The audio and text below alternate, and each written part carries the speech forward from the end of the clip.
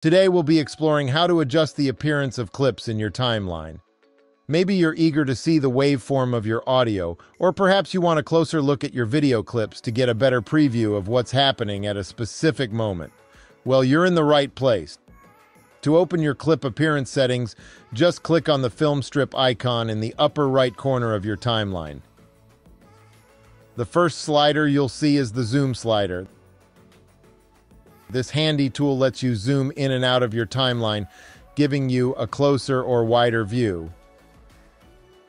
If you've zoomed in too far, no worries. Simply press Shift-Z and your project will automatically zoom to fit, giving you a view of the entire project. It's as easy as pie. Beneath the zoom slider, you'll find the clip appearance buttons.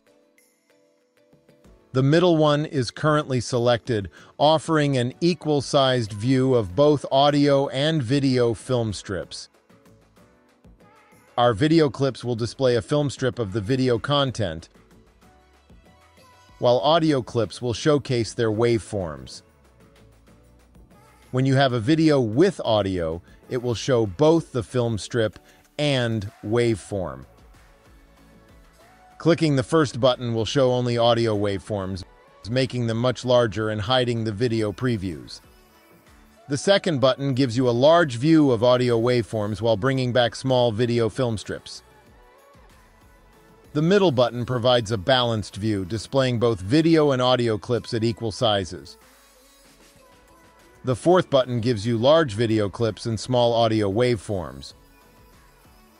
The next button hides audio waveforms and maximizes video film strip size. Finally, the last button hides both the video film strips and waveforms, leaving just the clip names. Want to switch views quickly? Use the keyboard shortcuts. Press Option Control Up arrow to increase waveform size and Option Control Down arrow to decrease it. Next, there's a slider that lets you adjust the height of all clips together. Drag it to the right to make them taller, or left to make them shorter. If you prefer keyboard shortcuts, press Command-Shift plus to increase clip height, or Command-Shift underscore to decrease it. You can also drag the center divider to adjust the height of your timeline for better visibility.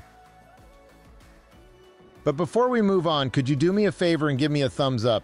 It helps me know if I'm doing a great job teaching and helps others discover this video. Thanks a bunch. Now, why do these views matter? Well, you might want larger waveforms when you're focusing on audio editing. For instance, making audio waveforms larger allows you to spot silent parts more easily. Then, using the range selection tool keyboard shortcut R, you can click and drag over the silent parts and press delete to make quick cuts. On the other hand, larger video clips give you more detail for precise frame-by-frame -frame editing. Editing preferences vary, so find the view that suits your project best. Whether you prefer big or small clips in your timeline, you're now equipped with the knowledge to navigate Final Cut Pro with confidence. Now it's time to dive into the fascinating world of resizing, moving, and rotating your videos and pictures in Final Cut Pro. Click here to check it out.